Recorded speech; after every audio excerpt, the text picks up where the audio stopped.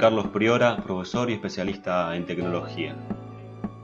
También soy autor de WhatsApp Revelado, un libro con trucos sobre WhatsApp para mejorar el rendimiento que escribí y el cual estuve investigando sobre la aplicación durante el 2020. Por eso hoy quiero darte mis conclusiones acerca de la investigación que realicé ahora en este 2021 acerca de la polémica sobre las nuevas condiciones de privacidad que pretende imponer el mensajero propiedad de Facebook y de Mark Zuckerberg. Quédate en este informe de Dute. Durante algunos de los primeros días del año 2021 habrás abierto tu WhatsApp y te encontraste con una imagen como esta. dice WhatsApp actualizará sus condiciones y su política de privacidad las actualizaciones son sobre el servicio de WhatsApp y cómo tratamos sus datos, cómo las empresas pueden usar los servicios alojados de Facebook para almacenar y administrar sus chats de WhatsApp y cómo nos asociamos con Facebook. No me pareció nada del otro mundo. Pospuse otra vez la, decisión, pero empecé a ver en redes sociales mucha actividad y muchas quejas de los usuarios y muchas teorías ya rozando lo conspiranoico acerca de de que WhatsApp ahora quiere habilitarnos el GPS permanentemente para saber dónde estamos y habilitar la, cámara para, ver qué hacemos, para nuestras reacciones a los anuncios, que de hecho no hay anuncios en WhatsApp, sí en Facebook y en Instagram. Entonces me puse a investigar, recordando un poco lo que había leído y buscado el año anterior para el libro que se publicó por medio de la editorial Users, estuve revisando un poco las condiciones de privacidad y las comparé con lo que proponían ahora. De hecho, fui ahí, te dejo el link aquí abajo, a la sección de WhatsApp en internet donde tiene la política de privacidad. Y lo primero que me llamó la atención es lo siguiente, que dice, si resides en la Unión Europea, WhatsApp Ireland, Irlanda, te proporciona nuestro servicio de conformidad con estas condiciones de servicio y esta política de privacidad estuvieras en Europa tendrías que cliquear aquí y aquí para leerlas. y te aclara, si resides fuera de la región europea, los servicios están proporcionados por WhatsApp LLC, bueno, que es la sede central de WhatsApp en Estados Unidos, donde está Zuckerberg, ¿cierto? Y tendrás que dar conformidad a estas condiciones de servicio y a esta política de privacidad. O sea que son diferentes.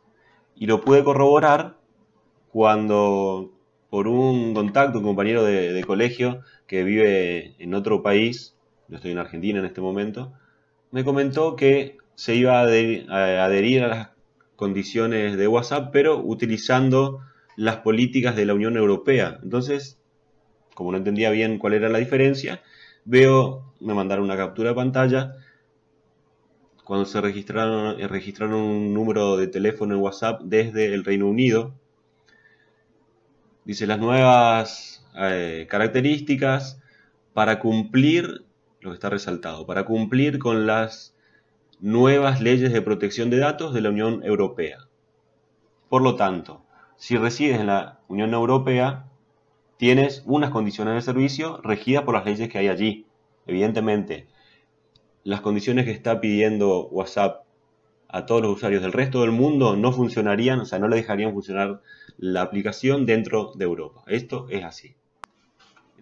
Según la comparación que yo hice de, lo que había leído en, diferentes actualizaciones de seguridad de WhatsApp y lo que piden ahora, no hay grandes cambios. Esto lo corrobora también eh, esta nota publicada en Red Users, donde dice WhatsApp retrasa los cambios para aclarar el panorama, donde de paso nos da la información que se, rechazaría, se retrasaría perdón, la implementación de los cambios para el 15 de mayo.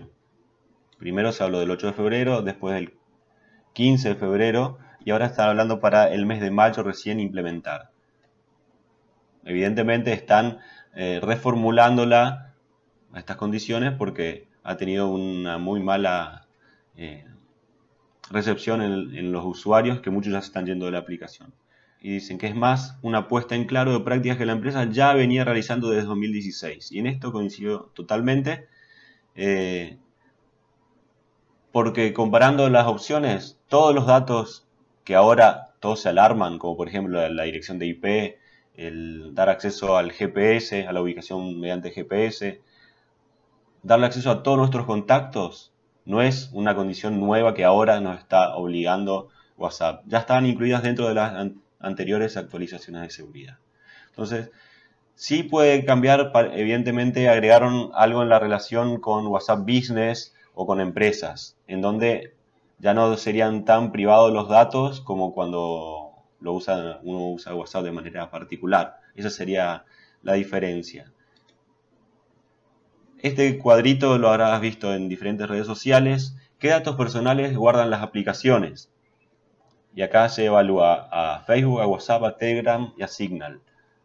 Viendo una larga lista, larguísima de Facebook, la cual en Instagram también eh, tiene similares datos, historial de compra, información financiera, ubicación exacta, aproximada, eh, correo, nombre, fotos, videos, eh, datos de rendimiento, salud, fitness, bueno, más, y encima le estás dando imágenes, nombre de tus seres queridos, de tus parientes, de tus amigos. WhatsApp tiene una lista ahí, no se, no se estaría agregando nada, nada nuevo a esa lista. Y después vamos a ir más adelante las otras aplicaciones de mensajería, qué información retienen. Telegram solamente información de contactos y la identidad del usuario. Primero te pedían el número de tu teléfono para registrar. Ahora puedes usar sin un número de teléfono, solamente con un, con un eh, nombre de usuario. Signal, ninguna información la guarda. El único dato personal que almacena es tu número de teléfono y no hace ningún intento de vincularlo con tu identidad. Yo te invito a que tomes tu propia decisión y si estás de acuerdo con la información que WhatsApp retiene y guarda, lo dejes de usar. Y si no te parece eh, tan grave, lo sigas usando. Pero ¿cómo lo puedes hacer? Te doy un truquito que está en el libro que te comenté en el ebook WhatsApp revelado que lo consigues en Red Users Premium. Te dejo el link aquí abajo nuevamente.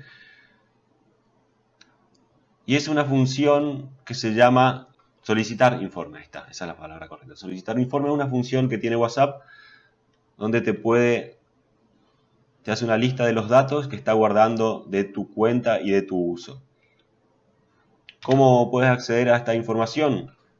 Tienes que ir a ajustes, ajustes de cuenta y solicitar info de mi cuenta. En ese apartado, ahí ya es muy fácil. Te avisa que crea un informe de los ajustes de configuración en la info de tu cuenta y de WhatsApp.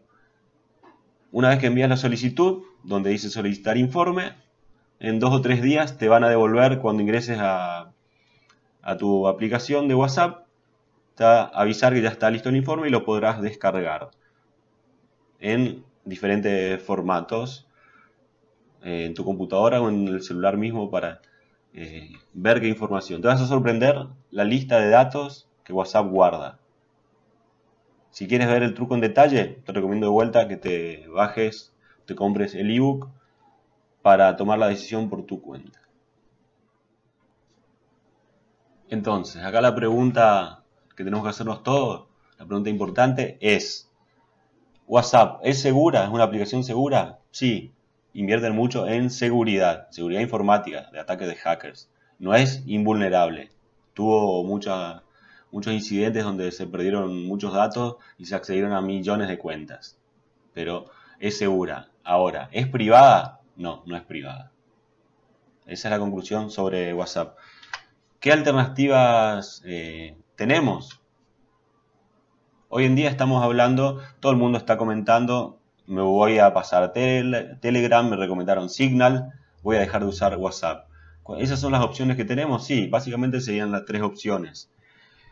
Una opción es seguir usando WhatsApp porque en tu trabajo, porque tu jefe lo utilizan, porque tiene un grupo eh, donde vende productos y sos un emprendedor, bueno, muchas razones puede haber para que sigas utilizando WhatsApp. La otra forma es usar un poco menos WhatsApp, porque estamos viendo que es para nada una aplicación para nada privada. Y sí darle cabida un poco a otras aplicaciones más eh, que le dan más protagonismo a la privacidad, como Signal o como Telegram. Pero pueden ver en Sataka Android, por ejemplo, una comparativa de WhatsApp, Telegram y Signal y acerca de cuál es más segura. Y en Sataka, la Sataka Basics, también cuál de ellas cuida más tu privacidad. Estos artículos les recomiendo, les puedo dejar el link también aquí abajo. Sobre WhatsApp les puedo decir una cosa. Yo estuve escuchando mucho, tengo amigos que dijeron, dejé de usar WhatsApp por la privacidad, porque no es seguro, porque te sacan, te roban todos los datos, etcétera, etcétera, etcétera. Pero siguen utilizando Facebook y siguen utilizando Instagram. Entonces, si el motivo de dejar de usar WhatsApp es por la privacidad, te recomiendo que también dejes de usar Facebook y dejes de usar Instagram. Son todos de la misma empresa y ya vimos en el cuadro comparativo de datos que guarda cada aplicación que Facebook es mucho más eh, invasivo, Instagram también casi al mismo nivel que WhatsApp. Esto lo corroboran otros autores y tecnólogos de renombre como Santiago Bilinkis, donde, que él también para sus libros, eh, que recomiendo sus dos libros que tiene publicados hasta ahora, recomiendo que los puedas leer y también saques tus conclusiones acerca de si querés seguir utilizando este tipo de aplicaciones, porque no son para nada privadas, se quedan con un montón de datos propios y de todo tu entorno. Ahora, puede ser que quieras eh, pasarte a otra aplicación. Bueno, hice una pequeña comparativa, muy pequeña, eh, de las tres aplicaciones de WhatsApp, de Signal y de Telegram. En puntaje, un pequeño puntaje que, que le puse a cada función, quedó Telegram como la mejor, más dúctil, fácil de usar desde que la pude instalar. Pero es cierto que tampoco la llevo usando mucho, mucho tiempo, solamente un par de semanas, lo mismo que Signal. Y WhatsApp ya hace muchos años, entonces por ahí no tiene la... No podemos calificarlo de la misma manera porque llevamos usando mucho más tiempo, todos en general creo, eh, WhatsApp. La ventaja de Signal es muy privada. Vamos a ver, a Telegram. No, este Telegram no. Este Telegram. La aplicación. Eh, aparte de ser muy privada y segura, le dan protagonismo a la seguridad. Es muy dúctil, tiene muchas ventajas, por ejemplo, grupos mucho más grandes se pueden hacer los grupos de Telegram. También se pueden eh, enviar archivos mucho más grandes que los que se puede enviar por WhatsApp tiene los canales, que es algo novedoso, o sea, tiene muchas ventajas con relación a WhatsApp, incluso a Signal. Yo creo que la elegida, si tuviera, que elegir solo una, sería esta. ¿Qué más te puedo decir sobre Telegram? Que tiene muy buen humor. Mira lo que te ofrecen. Algo muy interesante es que en lugar de tener que leer un manual en internet, abrieron un canal que se llama Tips de Telegram, donde te enseñan a manejar la aplicación desde cero prácticamente y te ofrecen por ejemplo los temas para la aplicación y miren este, muy buen humor de la gente de, Telegram. Dice, si quieres hacer un viaje en el recuerdo, nuestros diseñadores hicieron este tributo a una app que solía ser independiente. Muy buena. Ahí, por si extrañas mucho WhatsApp, porque te saliste de WhatsApp, puedes incluso poner el tema retro green en Telegram y hacer como que estás dentro de WhatsApp todavía.